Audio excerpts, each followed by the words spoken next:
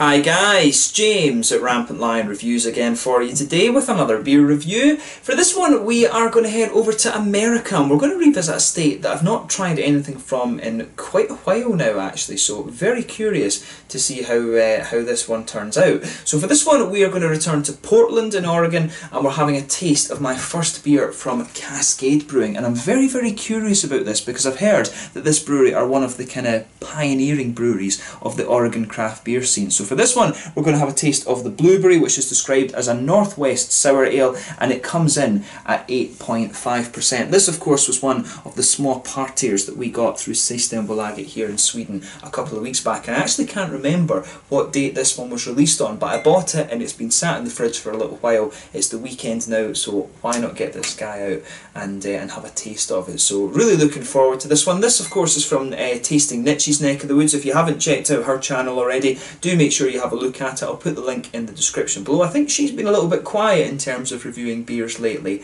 um, but very, very nice girl, of course. I met her over in, uh, in Copenhagen one time, so, uh, but yeah, check out her channel. She does some really interesting stuff, and of course, she's got a very good selection of craft beer when she's living uh, over in Oregon. But yeah, so anyway, as is usual with my reviews then, I'll tell you a little bit about the brewery. If you want to get straight to the tasting, just fast forward. All the usual links are in the description below. That's the brewery website the link to my other reviews that hopefully I can do in the future from Cascade Brewing. Very first time I'm trying one of their beers. There's all the usual social media. If you want to see more beer reviews, do please consider subscribing to the channel. The whole channel, of course, has a geography-based tagging system, so you can go into the homepage and search for beer based on country, city, state, county, prefecture, whatever it is you're interested in. Do check out the playlist of beers from different countries. There is one there for all the American beers that I've reviewed for you. That's constantly being added to. And as always, please do get in touch and let me know some of the other beers and breweries that you guys would like to see me review. It's always great to hear from you guys that are watching the videos and the support that you show the channel is hugely appreciated and hopefully I can review some more Oregon beers for you over the next little while as well. They are starting to become more and more available over here in Europe. And that's one of the things I always say about American beers is it's always the case that um, they're quite difficult to, I get a lot of recommendations, but it's quite difficult to get a hold of some of them just because of the different laws and things that exist in, uh, in different American states. But I always enjoy reviewing stuff from different places in America. But anyway, to tell you a little bit about Cascade Brewing then, on to my brewery notes. So as I mentioned to you earlier, Cascade Brewing are from Portland in Oregon and they opened up back in December of 1998 in the southwestern part of the city. So Portland is the city in the world that apparently has the largest number of breweries today. It's around 70 and that is, you know, bigger than anywhere else. I'm sure I could go on holiday to uh, to Portland and spend a week there and just, you know, have a very, very messy week doing uh, beer tasting. So maybe that's something I actually need to look at at some point in the future. But this company is owned by a guy called Art Larrance, who's widely considered to be a huge figure in the Oregon craft beer industry, having co-founded one of the first microbreweries and also the Oregon Brewers Festival, as well as being instrumental in having the laws changed in Oregon so that brew pubs could exist and that breweries could actually sell their beers on the premises, which had actually been banned in Oregon since Prohibition, which I believe was back in like you know the, the late 1920s, early 1930s. America had Prohibition, there was no alcohol produced at all.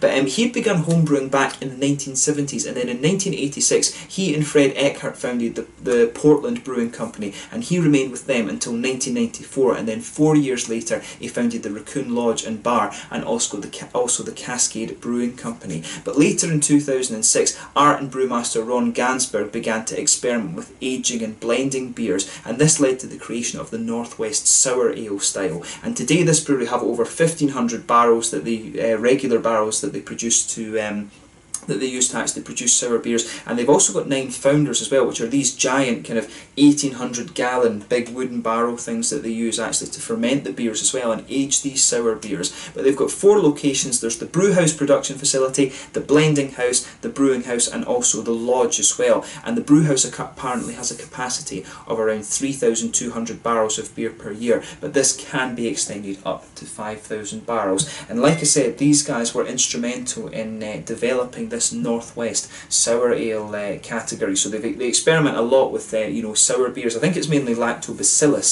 and Brettanomyces that they use as their wild yeast. I think they use a kind of mixture of the two. Um, but they've done a hell of a lot of stuff. There's lots of different editions of their kind of base beers that they have, and a lot of them are blended in different ways and just aged in different woods and different types of casks and barrels and stuff like that. So a very you know it's another it's a completely different kind of take to brewing if you like if you're going to start playing around with blending and sour beers and stuff like that. It really is something that's uh, that it's completely different just to kind of straight up process brewing if you like like you see in uh, in other places. So yeah, a really interesting brewery to review this one and I was glad that I was able to get a hold of one of these beers. I think in Sweden I paid around 120 crowns for this uh, for this bottle which is somewhere along the equivalent of, two, of uh, 12 US dollars or um, about 10 euros or something like this. So it was a little bit more expensive but you know I thought I've heard very very good things about this brewery so why not have a taste of this beer. Overall in RateBeer this guy I think has a 97 overall and a 93 within the sour beer category so you know it should be a pretty good good beer, but they've got a whole host of different things. If you want to learn a little bit more about those, and of course a little bit more about the brewery, you can have a check on the brewery website. You can follow them on Facebook, you can follow them on Instagram, but for me, that's all you really need to know about them before we actually taste the beer. One thing about this beer as well, like I said, this one is 8.5%. This one apparently was, uh, it's a blend of a beer that of two different beers that they've aged for six months in barrels. So they've aged uh, a blonde beer in barrels for six months. They've also aged a wheat beer as well, and then they've mixed them together, and then they've actually added fresh blueberries to it, and then allowed it to um, to uh, to age for another six months or ferment for another six months, which is uh, or four months rather, not six months, which is uh, very very cool. So this one I think should be one of the more unusual beers that I've reviewed on the channel over the last little while, but very excited to try it. So let's have a go at this one. I'll just let you have another little quick look at the artwork before we open it up. But there you can see, you know, it's it's fairly, it's one of these ones that is uh, fairly simple. We can turn off the computer now since we don't need the brewery notes anymore. Um, but yeah, this one is from 2016, so I'm guessing it's about two years old. And this one was imported into Sweden by um, Neptunium. So yeah, I've not heard of that company before. I think this is the first beer I've had from them that they've imported um, and given to Systembolaget. Yeah, but it says here um, this Northwest Sour Ale is a blend of wheat and blonde ales aged in oak barrels for up to 12 months with fresh blueberries. And it says you should drink around 40 degrees Fahrenheit. I don't know what that is in real temperature measurements, I have no idea what um, 40 degrees Fahrenheit is. I'm guessing it's somewhere around, you know, 7, 8 degrees Celsius. I really, I don't understand that. In America, I always complain about this when I review American beers. It says on the side here that this one is uh, 9 point, is um, 9, it's 750 millilitres, so they have used a proper measurement with this one, but you get so many American beers where it's all about fluid ounces and stuff, and I just never understood this. I don't know why America's never used the metric system like everybody else. But yeah, let's get this guy out and we'll get on with the tasting. It's got one of these nice little corky tops to it. So yeah, oh it says, it does actually say on the cork Cascade Brewing as well, so they've got custom corks, which is pretty cool. So let's just see how we get on with this. Hopefully it doesn't go bang. Yeah, it's not going to go crazy, that's good. So yeah, let's get some of this out and we'll get on with the tasting then. You can see nice smoky opening on this and we'll get it out and into the glass. Ooh. A little bit of it sparking over. I tell you straight away, this smells really pretty damn nice. That's about a third of it in the glass there, and I'm just seeing on the camera, that looks ridiculously clear. So, when you hold it up to the light, it's actually a very nice ruby colour.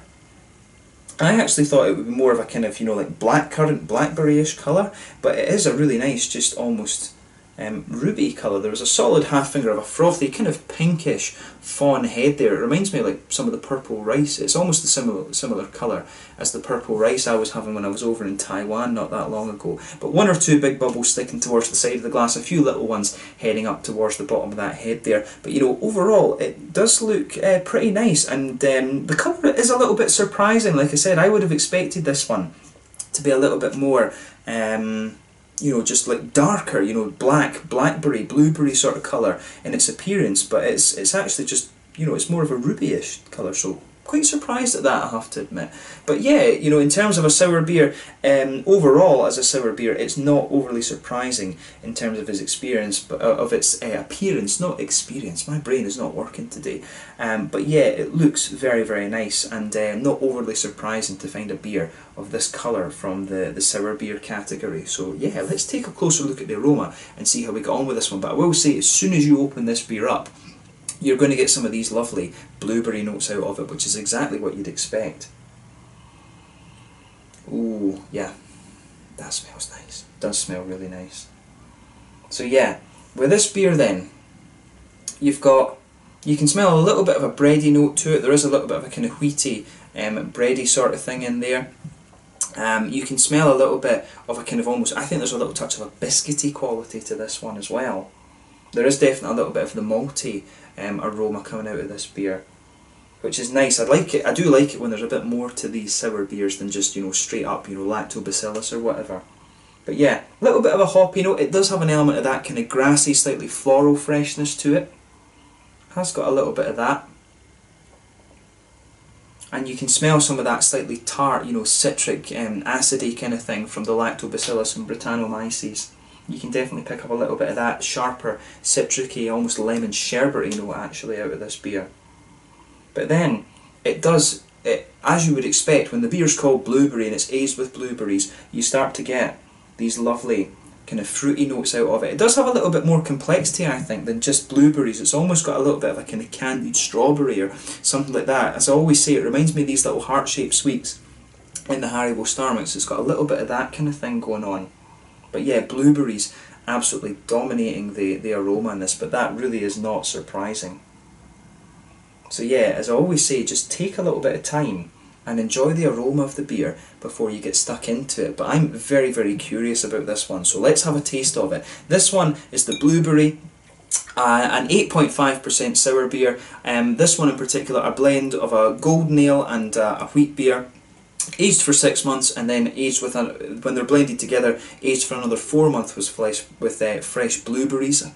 What's going on with my speech today? Um, from Cascade Brewing Company a Northwest Sour Ale my very first taste of this particular type of beer from Cascade Brewing in Portland in Oregon. Special shout out to Tasting Niche of course once again but let's get stuck into this beer. Slàinte Skål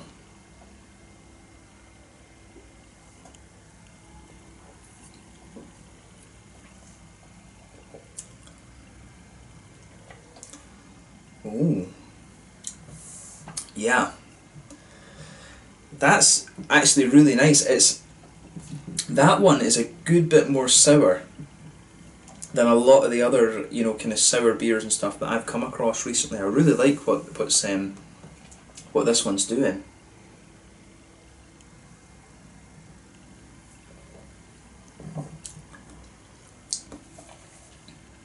Oh, yeah. I will say, I mean, in Sweden here we have Brekeriet who have some really, really awesome sour beers. But I find in, in some ways they're a little bit more traditional. They use a lot of the American hops and things in theirs. Which is, and the hoppy presence still comes out a little bit. They're more kind of, they're blending these sour flavours with those nice hoppy elements. This one, it's almost a little bit more like a, to me, the way that this beer comes across is almost a little bit more like a lambic or something like that. And of course, there are key flavour profile differences between this and a lambic, don't get me wrong, but the sort of level of sourness and the, the flavour profile of this beer itself does remind me a little bit more of a lambic than, than the other sour beers that I've had, to be honest. I mean, I'm thinking of like Crooked Stave and um, and other breweries like this that I've had, Wicked Weed are another one that do the sour beers over in America. This one, it, it really does remind me a little bit more of a lambic rather than um, some of the other sour beers like Berliner Weisses and all that kind of thing. This that's that's my impression of this beer. But I will say straight up, it is very very nice. Just be aware of that when you if you taste this for the first time, and this is my first taste of an ale of this uh, particular style. It is it is really a bit more close to the lambic in my opinion.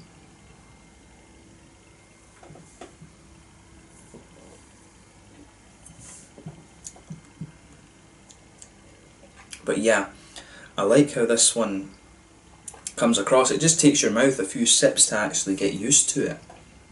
But it's a damn good beer, so a big thumbs up to Cascade brewing on this one. It's almost a little bit puckering with how uh, with how sour it is, but I dare to, I dare say that if you drink a few of their beers, you know you, you would get used to it. If you're used to this style, then of course it is. You know you cannot when you when you try new beer styles, it always takes you a little bit of time to adjust to them and fully appreciate them. I've found, um, but yeah, let's think about this a little bit. So middle of the palate then with this beer you can feel a little bit of that kind of wheaty um, white bready malt because that just blankets the middle of your tongue there you can feel that there um, as the beer kind of mellows out a little bit you start to get some of these um, slightly sweeter malty notes which I'm guessing are coming from the golden ale side of things it's got a little bit of a um, biscuity note to it as well but these malty flavours come out a little bit more the further into the aftertaste with this beer that you go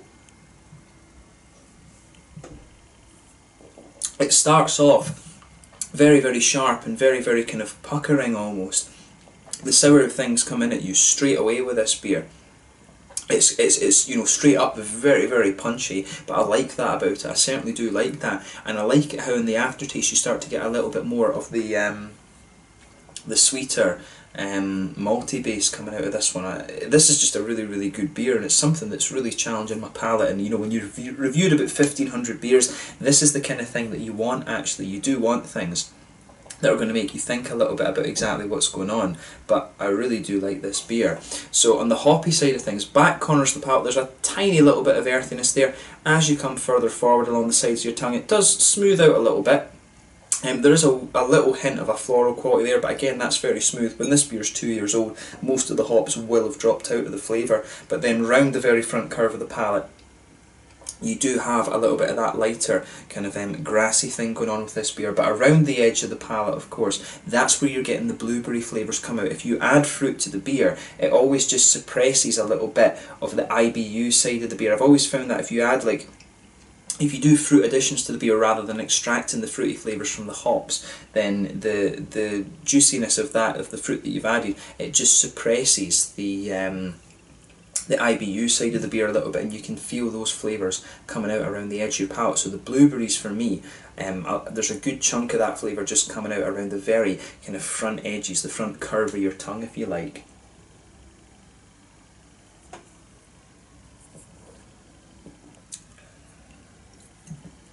But yeah, I like how everything is um, is coming across in this. This beer's it's it's really punchy in terms of its sourness, but then when it starts to get into the aftertaste and you and you sort of start to enjoy all these little after flavours from it, it really is just about how everything um, blends together. It's it's it's one of these beers that's just very punchy in the beginning, but then when it mellows out, you really start to appreciate the blend of all the flavours that are in here. It's, it's, it really is just nice and very, very interesting, I have to say. That's a good way to kind of summarise this one for me. Um, in terms of the fruity side of the beer, or the, the sour side of it, it's almost like if you just go in from the edge of your tongue, you can feel that sharp citricy note just on the um, the inside of your, your tongue. So just in from the edge a little bit, and that's where these sharp, tart, lemony, citricy kind of things from the lactobacillus and Brettanomyces are coming out of this beer.